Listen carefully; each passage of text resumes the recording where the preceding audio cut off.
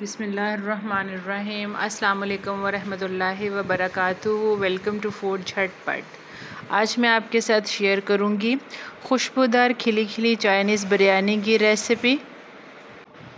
इसको आप Chinese fried rice और कैटरिंग वाले चाइनीज़ राइस भी कह सकते हैं। अवल ना तो फीके रहेंगे, ना ही कच्चे। एक एक दाना फ्लेवरफुल होगा, बहुत टेस्टी और शानदार बिरयानी बनकर तैयार होगी। जिनको सब्ज़ियाँ नहीं भी पसंद, वो भी इसे शौक़ से खाएँगे। चिकन तीनों सब्ज़ियाँ और सॉसिस को का फ्लेवर बहुत शानदार बनेगा। मज़े की बात यह है कि बहुत सादा, आसान रेसिपी है और बहुत कम मसाले जाएँगे। तो फिर करना क्या है? वीडियो को स्किप किए बगैर पूरा देखना है। ताकि आपको रेसिपी की समझ आ सके और रेसिपी को जानकर मुझसे भी बेहतर चाइनीज़ फ्राइड राइस तैयार कर सकें। तो चलिए फिर अपनी शानदार सी रेसिपी स्टार्ट करते हैं। जो चीज़ें हमें चाहिए चाइनीज़ बिरयानी के लिए वो हमने कलेक्ट कर ली हैं। चावल हाफ़ के जी लिए हैं, इसको भगो दिया है। तीस मिनट हो गए इसको भीगे हुए। इसके साथ हम चिकन लेंगे बोनलेस लेंगे, ये भी हाफ़ के जी के आसपास है। इसको भी साफ़ करके धोकर ड्रेन करके हमने रख लिया है। तीन सब्ज़ियाँ लेंगे, बंद गोभी, गाजर और शिमला मिर्च, ये तीनों एक एक पाव ली हैं। इनकी सफ़ाई कटिंग के बाद जो बचा वो कलेक्ट कर लिया है। एक प्याज लिया, दरमियाने साइज़ का दो अंडे हैं और ज़्यादा सारी हरी मिर्चें डालेंगे। तमाम चीज़ें रेडी कर ली हैं कलेक्ट कर ली हैं। चलिए रेसिपी की तरफ़ बढ़ते हैं। नेक्स्ट स्टेप में ये गिलास है जिससे मैंने चावल की मेयर किया था। ये दो गिलास थे। तो अब मैं ये तीन गिलास पानी एक सॉस पैन में डालूँगी। चार नहीं डालूँगी डबल नहीं डालूँगी। यानी कि दो गिलास हमारे चावल जो कि वेट में हाफ़ के जी हैं, इस गिलास से मेयर किया था। अब ये गिलास तीन मैंने एक पैन में डालने हैं। नीचे चूल्हा जलाएँगे, पानी में उबाल आने देंगे। जब पानी में बॉयल आ जाएगा फ्लेवर को इन्हेंस करने के लिए इसमें चिकन पाउडर डालूँगी टू टेबल स्पून आप इसमें चिकन क्यूब भी डाल सकते हैं और चिकन की यखनी भी शामिल की जा सकती है। सिरका डालूँगी टू टेबल स्पून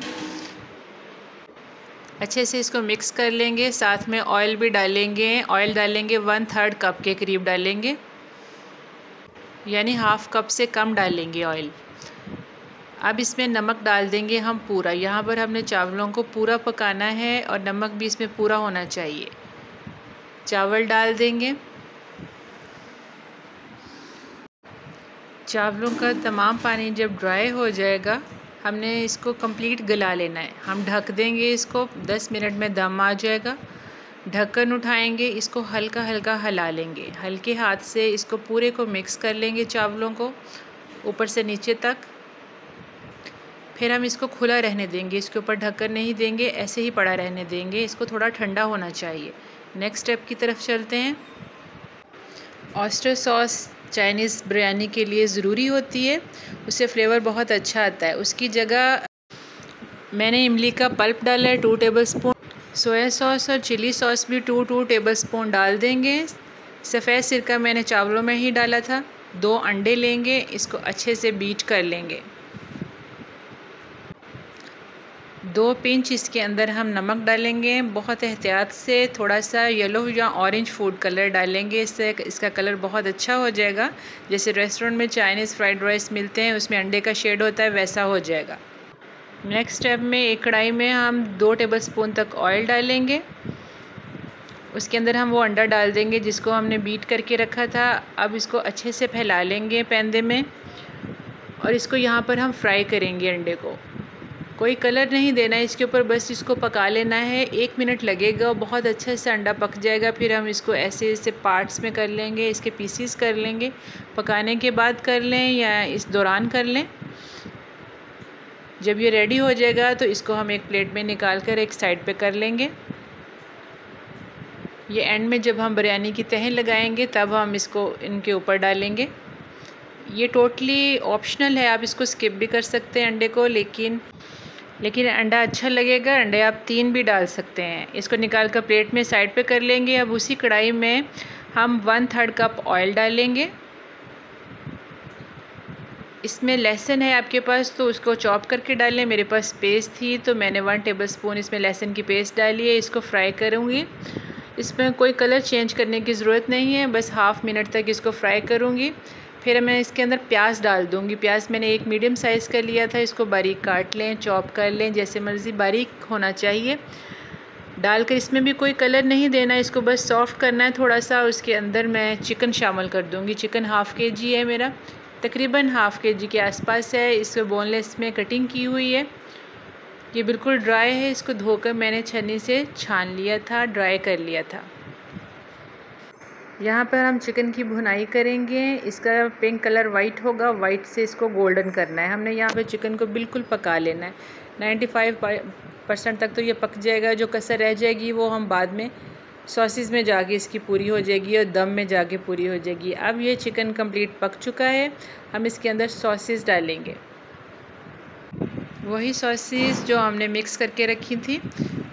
और साथ ही कुछ स्पाइसेस जाएँगी, बहुत कम। काली मिर्च डालेंगे one tablespoon two tablespoon तक डाली जा सकती है। मैंने टू टेबल स्पून डाली थी और नमक बहुत एहतियात से डालेंगे। काली मिर्च को भी हम दरदरा सा डालेंगे पाउडर फॉर्म में नहीं डालेंगे। नमक हमने एहतियात से डालना है क्योंकि अंडे में भी नमक था और चावलों में भी पूरा नमक है। हरी मिर्चें डालेंगे, ज़्यादा सारी बैकग्राउंड में फिर स्पाइसी सा टच मिलेगा। मैंने इसको ग्राइंड कर लिया था। आप अगर चॉप करना चाहें तो इसको फ़ाइन चॉप कर लें। वो भी अच्छी लगेंगी। अब यहाँ पर इसको ढक देंगे। मिर्चों को मैंने थोड़ा सा पानी डाल के ग्राइंड किया था। तो उससे अगर चिकन में थोड़ी सी कसर रहती होगी तो वो पूरी हो जाएगी और वो गल जाएगा। तकरीबन दो तीन मिनट के बाद मैंने ढक्कन उठाया तो ये आप चेक कर सकते हैं, चिकन कंप्लीट गल चुका है। अब हम इसमें गाजरें डाल देंगे। गाजर सबसे पहले डालेंगे। एक मिनट तक इसको फ्राई करेंगे। आँच को हम तेज़ कर देंगे इस टाइम। हमने सब्ज़ियों को गलाना नहीं है, सॉफ़्ट करना है बस। ना ही इसमें पानी डालना है, आँच को हमने तेज़ रखना है, मीडियम भी नहीं रखना। बिल्कुल भी एक मिनट लगेगा। इस गाजरों को फ्राई करेंगे पहले, फिर हम इसके अंदर शिमला मिर्च डाल देंगे। शिमला मिर्च की कटिंग करके धो के रखी हुई है हमने, बिल्कुल ड्राई फॉर्म में इस टाइम इसको डाल देंगे, इसको भी हम इसके साथ मिलाकर तेज़ आँच के ऊपर फ्राई करेंगे। याद से आपने हीट को हल्का नहीं करना, हमने सब्ज़ियों को गलाना नहीं है। इसका क्रिस्प क्रंची क्रंच बाकी रहना चाहिए सब्ज़ियों का। अब एक मिनट के बाद हम इसमें बंद गोभी डाल देंगे। इसको भी अच्छे से मिक्स करेंगे। बस एक मिनट तक ही इसको मिक्स करेंगे। एक मिनट के बाद इसको अच्छे से मिक्स करने के बाद हम इसको हाफ़ निकाल लेंगे। आधा आपने इसको प्लेट में निकाल लेना है और आधा नीचे पड़ा रहने देंगे। उसकी बेस पर जैसे हम बिरयानी की तहें लगाते हैं ना, वैसे। अब आधे चावल जो है ऐसे खोल खोल कर हम किसी स्पाइडर छलनी से या किसी भी स्पून से इसको ऐसे हला हला के डालेंगे। चावलों को खोल खोल के डालेंगे। अच्छे से तेल लगा लेंगे। उसके बाद हम इसके ऊपर जो जो हमने मीट निकाला है, जो सब्ज़ियाँ, वेजिटेबल और चिकन निकाला है, उसकी तेल लगाएँगे। अच्छे से फैला लेंगे इसको डालने के बाद।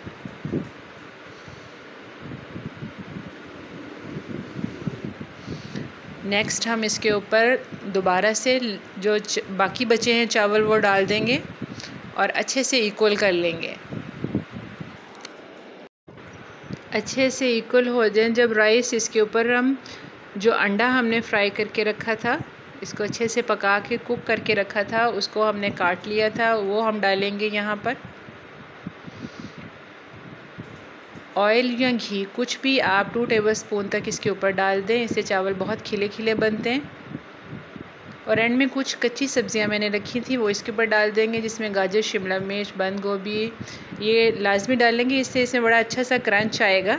ये मैंने थोड़ी सी डेकोरेशन के लिए रखी थी, इससे ग्रीन कलर इसमें रहेगा, बहुत फ़ाइन सा फ्रेश पंद्रह मिनट दम लगाएँगे, उसके बाद जब ढक्कन उठाएँगे, माशाल्लाह से आप इसकी लुक चेक करें, बेहतरीन खिली खिली चमकदार, शानदार चाइनीज़ बिरयानी तैयार है। सब्ज़ियों के तमाम रंग आप देख सकते हैं और जब आप ये बिरयानी बनाएँगे और खाएँगे तो आपको अंदाज़ा होगा कि ये तमाम सब्ज़ियों का क्रंच और सॉसेस का फ्लेवर चिकन के साथ मिलकर इसको कितना टेस्टफुल बना रहा है परफेक्ट बना रहा है। अगर आपने वीडियो कंप्लीट देखी है तो आपको अंदाज़ा हो गया होगा कि कुछ स्टेप्स हैं जो मैंने डिफरेंट किए हैं। जैसे मैंने चावलों को कंप्लीट नमक डाल के गला लिया था और उसमें जो फ्लेवर डाला था चिकन पाउडर या चिकन क्यूब का, वो इसको यूनिक कर रहा है डिफ़र कर रहा है। यही स्टेप है जिसकी वजह वजह से चावल खिले खिले बनेंगे और एक एक दाना फ्लेवरफुल होगा। नेक्स्ट अहम पॉइंट ये था कि जो ऑयस्टर सॉस की जगह मैंने इमली का पल्प डाला है, वो इसको बहुत यूनिक कर रहा है। आप लाजमी ट्राई कीजिएगा, एकदम से डिफरेंट टेस्ट बनेगा। थर्ड अहम स्टेप्स ये था कि जो सब्ज़ियाँ हैं, इसको हमने गलाना नहीं है, बल्कि सेमी कुक करना है ताकि इसका क्रंच बाकी रहे। क्रिस्प इनका बाकी रहना चाहिए जब हम चावल खा रहे हों। हमें फ़ील होना चाहिए। तो फिर इन तमाम स्टेप्स को फॉलो करके आप चाइनीज़ बिरयानी बनाइएगा।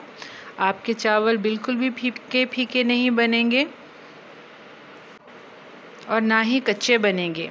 एक एक चावल का दाना फ्लेवरफुल बनेगा इन इसे लाजमी ट्राई कीजिएगा और अपना फ़ीडबैक शेयर कीजिएगा। इसके साथ ही वीडियो के अख्ताम करते हैं। अपना और अपने गिरदोनवा का ख्याल रखिएगा। फिर मिलेंगे नेक्स्ट झटपट रेसिपी में। इजाज़त दीजिए। अल्लाह हाफिज़। Thanks for watching